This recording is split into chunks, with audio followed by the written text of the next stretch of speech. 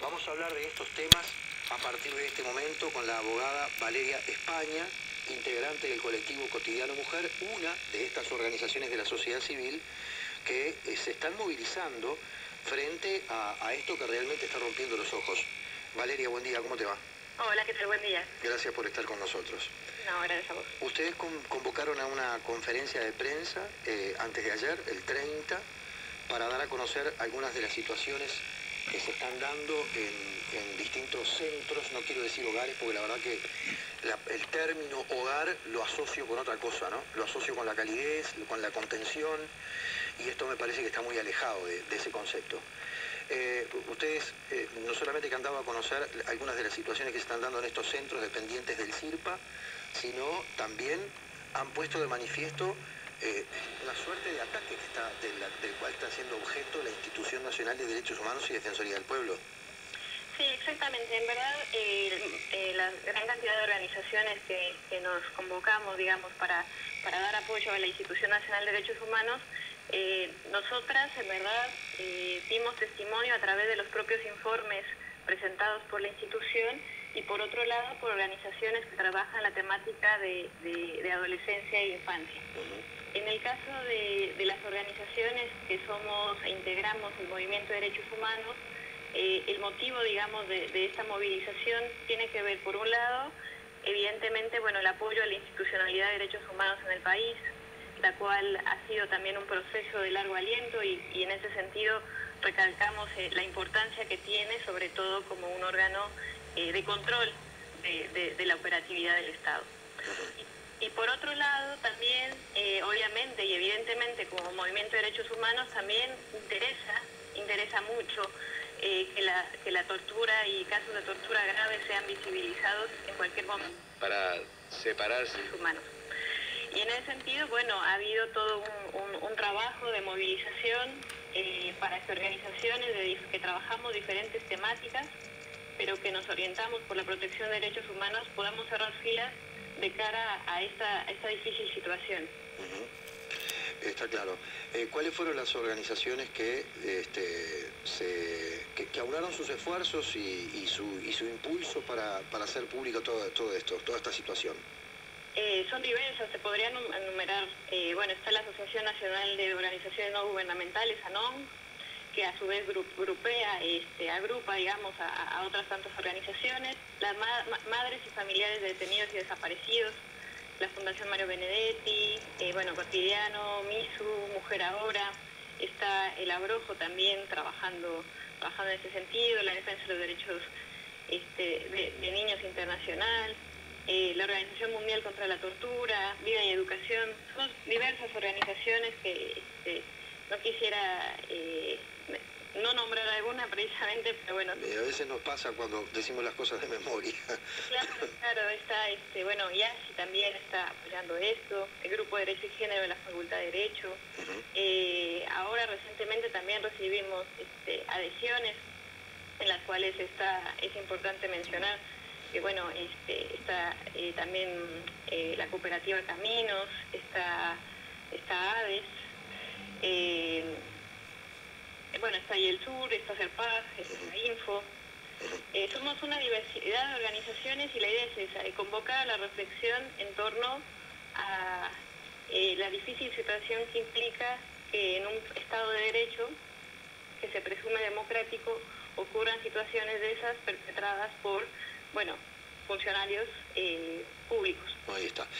Valeria, además ustedes están, es cierto que están pidiendo directamente la destitución de Rubén Villaverde al frente del CIRPA? Sí, en verdad nosotras, eh, bueno, nosotros en el grupo de organizaciones no planteamos ningún nombre en el comunicado, sino que estamos hablando eh, precisamente de, la dirección del sistema de responsabilidad penal, que está integrado no solamente por una persona, eh, y obviamente lo vemos precisamente en, en un hecho donde se ha constatado la violación de derechos humanos, eh, en un proceso en el cual eh, hay, que hay que recalcar que la Institución Nacional de Derechos Humanos ha actuado conforme a la ley en cada uno de los pasos.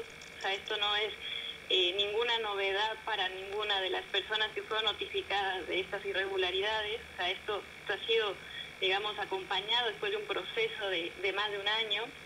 Eh, y en ese sentido, eh, el tiempo pasa, eh, los jóvenes están ahí adentro, en centros de castigo, no hogares, concretamente, y en ese sentido, bueno, obviamente tiene que haber una movilización política muy clara. estructuralmente estamos hablando de, retrasos este, institucionales que no van acorde con, con, esta agenda de derechos que ha impulsado el Estado. Bien, Valeria, yo te quiero pedir lo siguiente, que compartamos, porque te voy a decir por qué te hablaba directamente de Rubén Villaverde, más allá de que ustedes en las distintas declaraciones o en la declaración que han hecho pública no dan nombres, sino que hablan de la dirección del sistema de responsabilidad penal adolescente. Pero Rubén Villaverde, hace algunos años, antes de ser nombrado director del, del CIRPA, eh, tenía una visión muy, muy, muy intensa sobre el problema de la minoridad infractora. Eh, digámoslo de esa manera, para ser bien amplios y bien abarcativos. El problema de la minoridad infractora.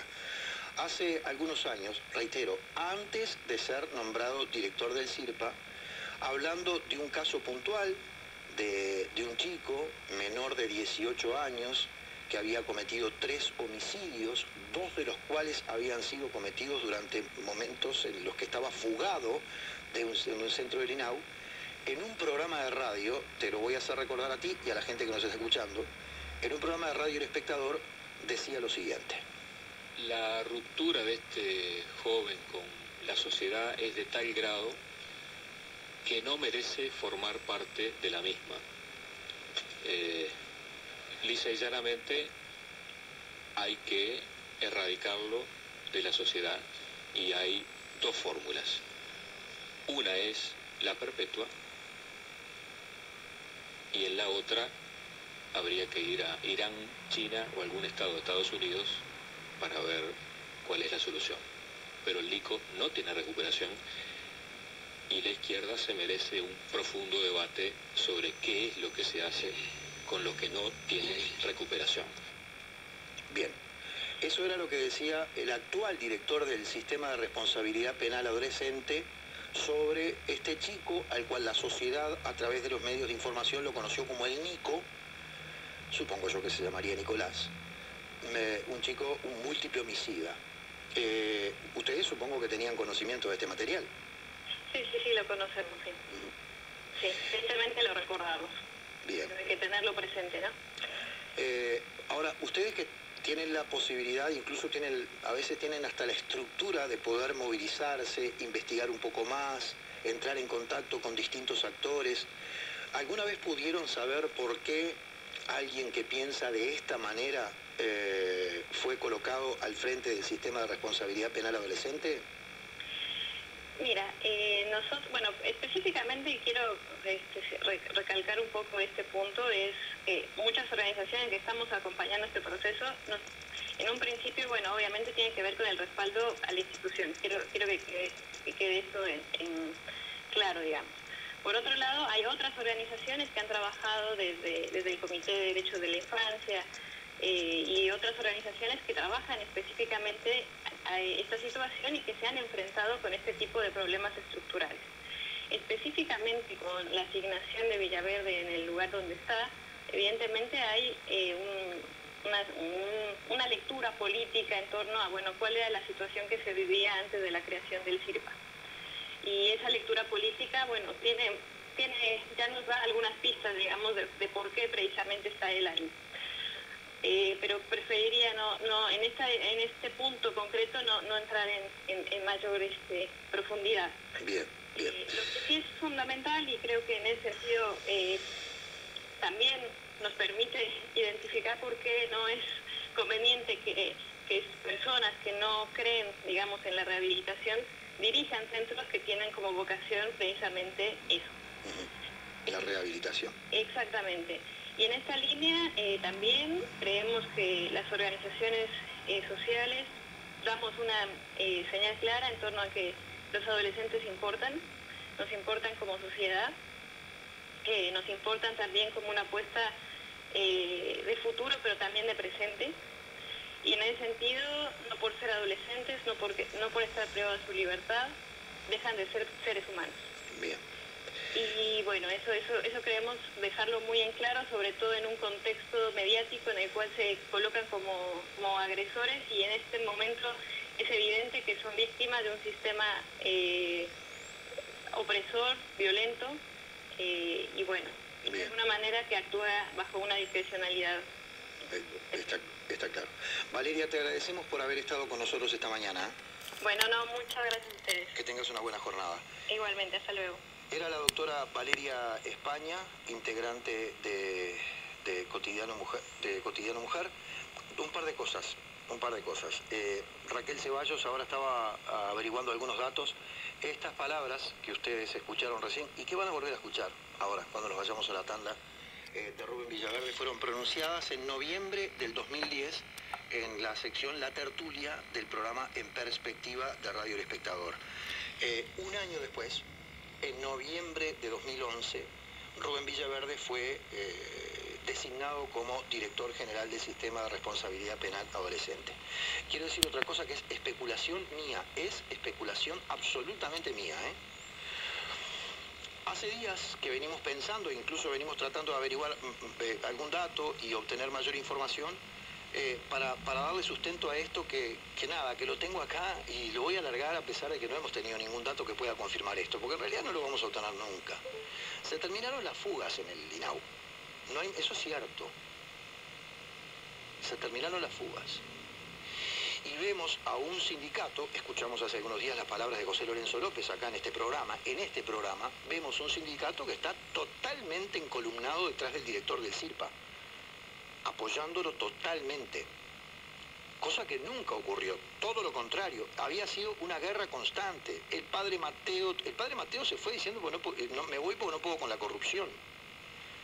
Había fugas, no había forma de pararlas, en fin, una... ahora parece que no hay más fugas y además hay sintonía, coincidencia entre, el, entre los, los, trabajadores sindicalizados en el Sindicato Único del INAU y Rubén Villaverde, un hombre que viene del movimiento sindical. Mi pregunta es, ¿nombraron a un sindicalista para que neutralizara a sindicalistas? ¿Y neutralizar sindicalistas significa haber terminado con las fugas?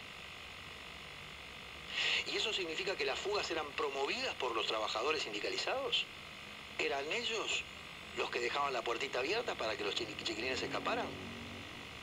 Son cosas, ¿no? Son cosas que, son especulaciones que estoy haciendo y con toda la subjetividad del caso. Vamos a la tanda recordando las palabras de Villaverde en noviembre del 2010 en Radio El Espectador. Ruptura de este joven con la sociedad es de tal grado que no merece formar parte de la misma. Eh, lisa y llanamente hay que erradicarlo de la sociedad y hay dos fórmulas. Una es la perpetua